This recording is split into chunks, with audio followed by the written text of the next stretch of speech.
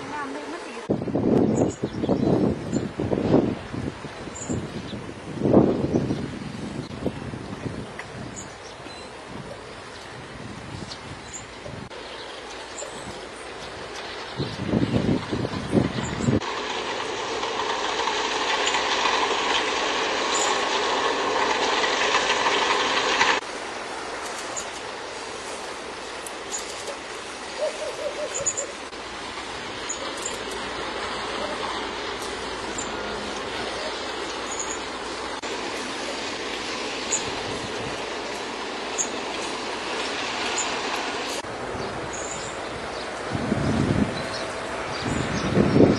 ลองกระช่างครับเป็นสองครับครับเราตัวนี้น้ำโค้งผันผวนนี่คือครับขึ้นลดลงนี่เฮาเฮาปรับการเลี้ยงจังไดครับ ใส่ปลาหน่อยลงต่อกระชัง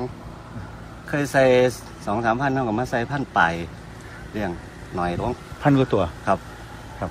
เราแต่ว่าเฮาบ่ได้พักกระช่างบ่ได้หยังบ่ครับบ่ครับ เรานำขึ้นลงเนี่ยการปรับกระช่างเฮาต้องปรับเฮาต้องหยังบ่เฝ้าแล้วเบิ่งนำบ่เบื้องอาการปลาครับถ้าถ้าปลามันมีอาการเท่ากับใส่ยาใส่ยาแล้วก็สูบออกไปให้มันอยู่นั่นหนองเลือก ที่สุดถ้าติดฟังหลายมันก็ปลาอยากตายตายหลายอาบ่การครับ ตายหลายบ่แต่ละกระช่างช่วงส่วนมาก